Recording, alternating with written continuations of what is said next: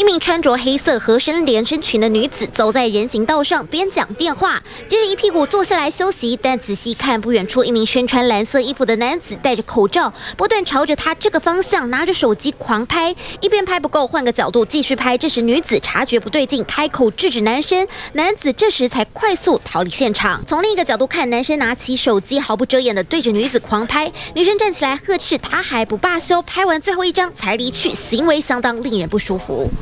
当时这名怪男从前方一百公尺的饮料店就一路对着女子狂拍，连女子坐下来休息，男生还是拿着手机一直拍。我用余光看好像又在拍我，可是那时候拍我，我以为他拍我们的营业时间。可是到最后他又往前拍，然后又靠我比较近的时候，我才意识到说他其实不是在拍营业时间，然后他是在拍我。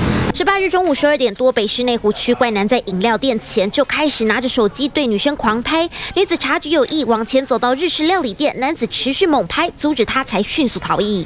很不舒服，因为后来我发现他在拍我的时候，我才有我才跟他讲说你为什么要拍我？对，然后他就他我讲完之后，他还对着我再拍一下。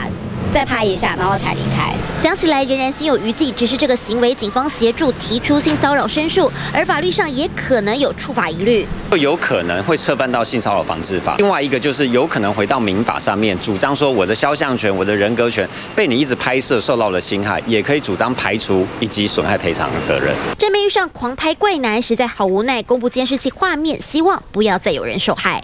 贾公杨来黄哲台北报道。蔡政府关中天。